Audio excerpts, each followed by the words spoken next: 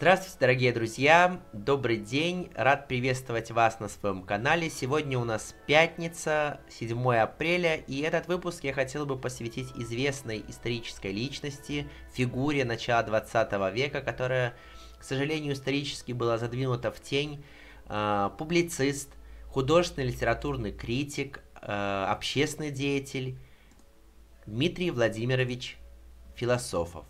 Кстати, портрет, который вы видите, был написан известным художником, иллюстратором, э, который родился в Беларуси, Леоном Бакстом. Дмитрий Владимирович Философов родился в богатой, зажиточной дворянской семье. Он окончил юридический факультет Петербургского университета, стажировался в Гильдербергском университете.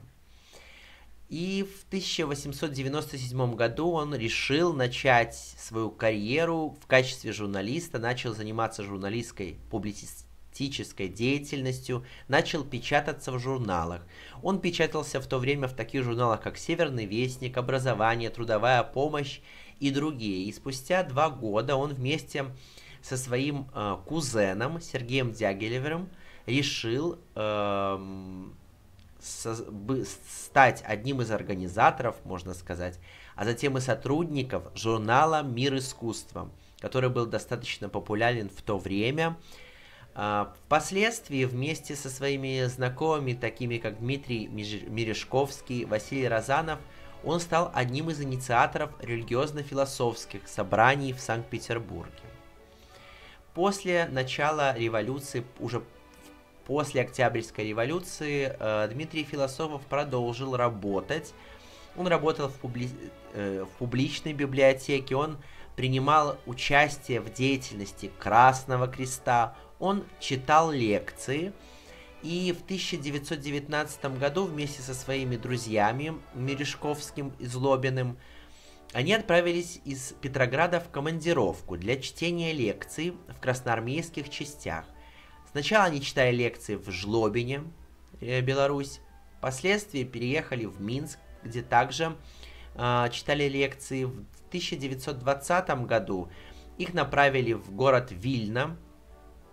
Э, они туда прибыли и э, впоследствии все-таки решили перебраться в Варшаву. Им это удалось сделать, эмигрировать в Варшаву, где и обосновался э, Дмитрий Философов. И где проведет он свои последующие годы жизни.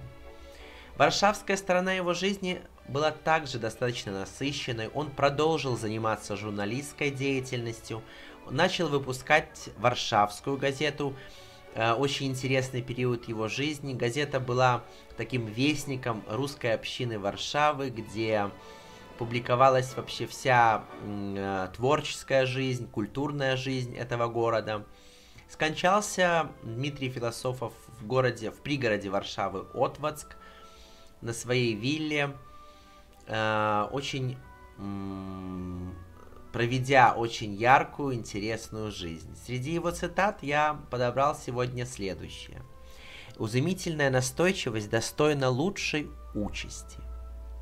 Наша критика знает только закон своего ножа анализа – и совершенно потеряла способность радоваться новому художественному произведению.